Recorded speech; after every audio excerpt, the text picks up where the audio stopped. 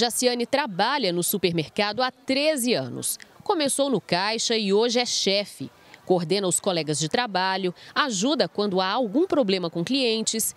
Ela conta que quando começou não pensava que ficaria nem três meses, já que era o primeiro emprego e não tinha experiência. Eu estudo, hoje eu faço faculdade de administração. Quais as metas, né? Quais seus planos ainda dentro da empresa? Olha, eu, quero, eu ainda quero aproveitar mais oportunidades, que eu tenho como crescer mais ainda.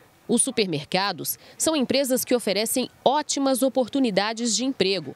A Maria Jacinta sabe disso. Começou neste aqui há 10 meses e já subiu de cargo. cheguei aqui né, como operadora de caixa, fui indicada e em seis meses surgiu a oportunidade né, para a líder de atendimento, onde me escolheram e eu estou aqui, estou gostando né, da área. Entre os pré-requisitos mais importantes estão gostar de lidar com o público e estar aberto aos desafios. Às vezes o cliente está bastante nervoso, só que aí você tem que ficar calmo e tentar, a gente está aqui para suprir a necessidade do cliente, né? Porque aqui quem paga a gente, o salário da gente é o cliente. As vagas mais comuns para quem está procurando o primeiro emprego e ainda não tem experiência são nas chamadas funções operacionais, como por exemplo os operadores de caixa.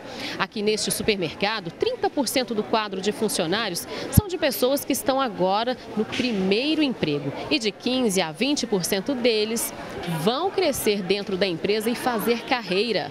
Outras vagas de acesso são de auxiliar, estoquista, cartazista, repositor de mercadoria, açougueiro, padeiro.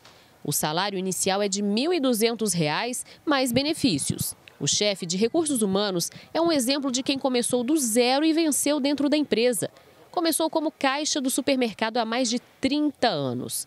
Enquanto agarrava as oportunidades, também investiu nos estudos para chegar onde chegou. Fiz faculdade, fiz uma pós-graduação, fiz cursos, né? E investindo na minha carreira.